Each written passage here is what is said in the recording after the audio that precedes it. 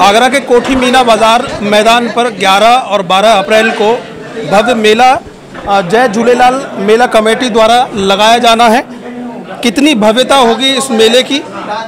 इस समय पूरी कमेटी के लोग मौजूद हैं, जो सूत्रधार हैं कार्यक्रम के। हेमंत भोजवानी मेरे साथ में है। हेमंत जी, कितना भव्य कार्यक्रम होगा इस बार कार्यक्रम जो होने जा रहा है?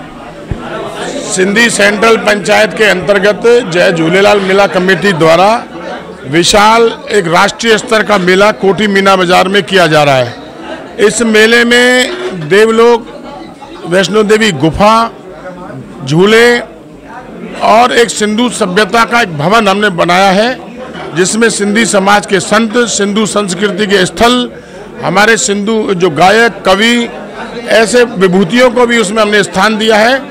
जो आज की युवा पीढ़ी ये जान सके कि भाई सिंधी कल्चर, सिंधी संस्कृति क्या है।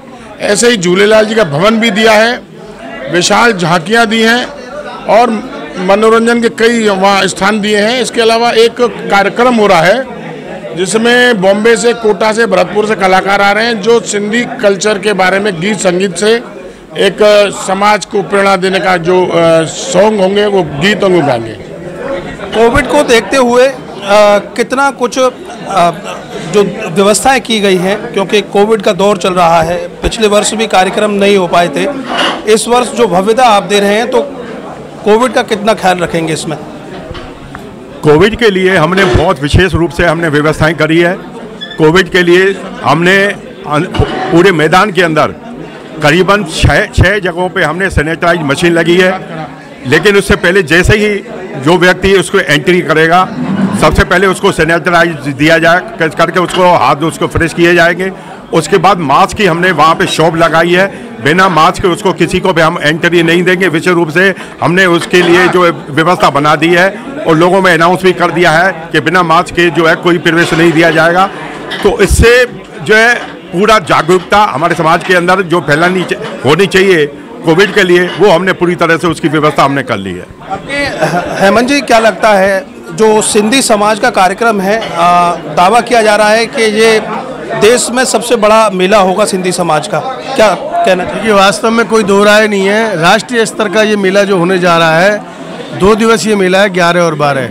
और झूलेलाल जी की असीम कृपा है आप देख रहे हैं जिस तरीके लॉकडाउन और इसका ये कोविड का चल रहा है लेकिन आगरा पे इष्ट देवता ने जो हमारे ऊपर कृपा की है उसको देखते हुए यहाँ पे सतरंगी शाम का आयोजन दो दिवसीय, वो भी राष्ट्रीय स्तर लेवल पे वाकई में एक अपनी बड़ी बात है। तो हमने तो सर समाज समाज सेवियों और अपने समाज से यही कहा है, दो गज दूरी और उसका पालन करते हुए, कोविड का पालन करते हुए, मास्क लगाते हुए, सैनिटाइजर की कई मशीनें लगाई हैं। साथ ही साथ इसमें जो विभूतियाँ हैं, जो समाज की विभूतियाँ, उनका हम सम्मान कर रहे हैं। पूरा चार बजे जैसे कल उद्घाटन होगा ग्यारह तारीख को विभूतियों का उद्घाटन है उद्घाटन के उनका सम्मान है?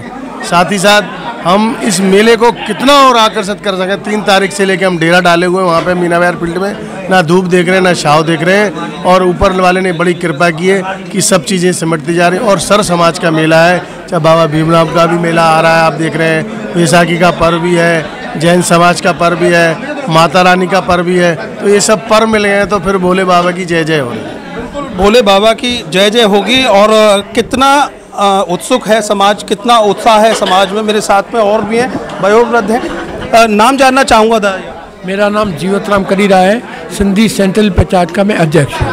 कितने उत्सुक हैं कितना उत्साह दिखाई दे रहा है इस कार्यक्रम को लेकर? सर्व समाज में बहुत ही उत्साह है। पहले हम झूलेलाल जयंती की सवारियाँ निकालते थे। इस साल कोरोना की वजह से थोड़ी चेंजिंग की हमने। इसको मेले का रूप दिया है, भय मेले का रूप दिया है। कोरोना की वजह से हमने ये सिस्टम बनाया है कि सौ, डेढ़ सौ अंदर आदमी आएँगे, फिर वो जाएँगे, फिर बाकी आएँगे। कोरोना को देखते हुए कई हमने अपने मशीनें रखी हुई हैं और बहुत बड़ा ये प्रोग्राम होने जा रहा है। और भगवान झूलेलाल से मैं प्रार्थना करता हूँ, इस मेले को कामयाब करें और अपनी आशीर्वाद बनाए रखें। गाइडलाइन का किस तरीके से प्रयोग करेंगे? क्योंकि शासन प्रशासन सख्त भी है कोविड को लेकर। किस तरीके से पूरा गाइडलाइन को फॉलो किया? गाइड गाइडलाइन का पूरा फॉलो किया जाएगा। जो भी सरकारी गाइडलाइन है उसका पालन करते हुए मेले को मनाया जाएगा।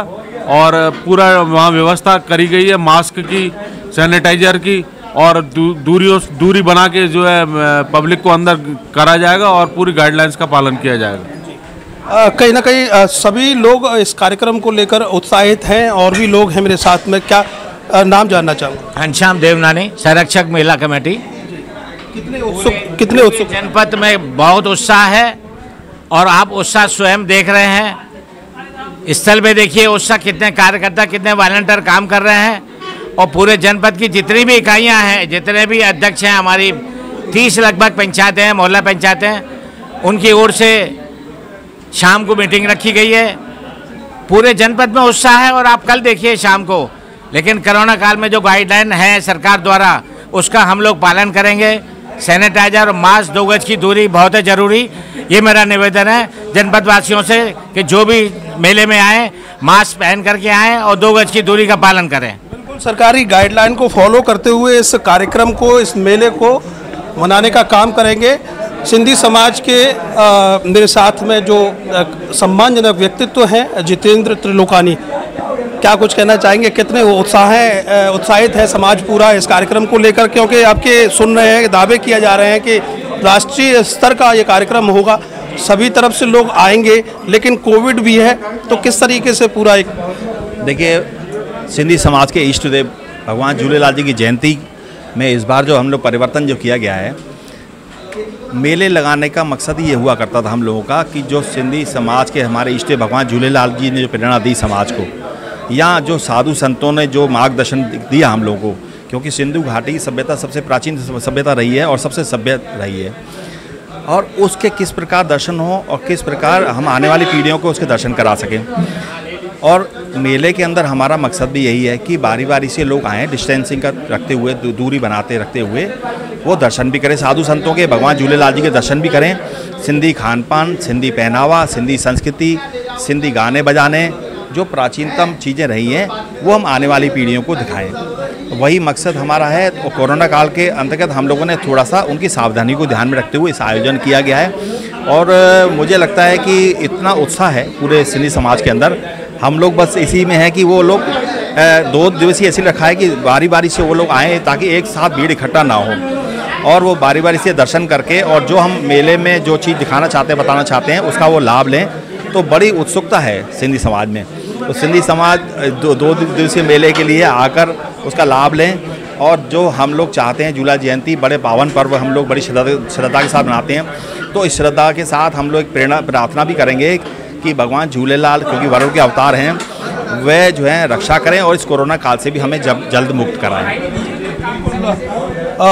भगवान श्री झूलेलाल से प्रार्थना भी है कि इस कोविड के दौर में, क्योंकि पहला कार्यक्रम कोविड के दौर में भव्य कार्यक्रम, राष्ट्रीय स्तर का कार्यक्रम ये करने जा रहे हैं, जिसमें हर तरह की, क्योंकि सिंधु सभ्यता से भी परिचय आपका कराएँगे।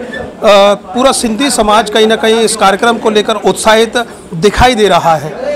उम्मीद यही करेंगे कि कोविड के दौर को देखते हुए सब सुरक्षित और जो दो गज की दूरी, सैनिटाइज़र वगैरह सारी चीज़ें रखते हुए इस कार्यक्रम में आएँगे और शिरकत करेंगे। कैमरे के पीछे आर्यन बघेल, मैं करतार सिंह बघेल, और